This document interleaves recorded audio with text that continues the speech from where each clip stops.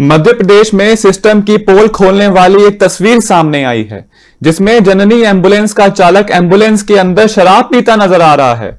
खुलेआम शराब पीते हुए वाहन चालक का वीडियो वायरल होने के बाद सिस्टम और जिम्मेदारों पर सवाल खड़े हो रहे हैं। दरअसल, ये मामला हैरान कर देने वाला है। महर ज़िले के अमरपाटन से ये वीडियो वायरल हो रहा है। इस वीडियो में साफ़ नज़र आ रहा है कि प्रसूताओं को ले जाने वाली जननी एंबुलेंस में एंबुलेंस चालक शराब पी रहा है।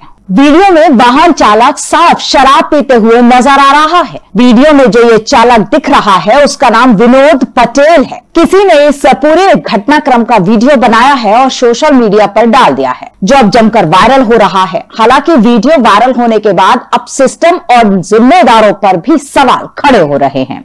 इधर घटना को लेकर प्रबंधन बेखबर है। अब देखना होगा कि आगे क्या कार्रवाई की जाती। लेकिन सबसे बड़ा सवाल यह है कि नशे में धुत होकर चालक मरीजों की जान के साथ खिलवाड़ कर रहा है। मरीजों को ले जाते वक्त उसका कोई हादसा भी हो सकता है। तो इसके लिए कौन जिम्मेदार होगा?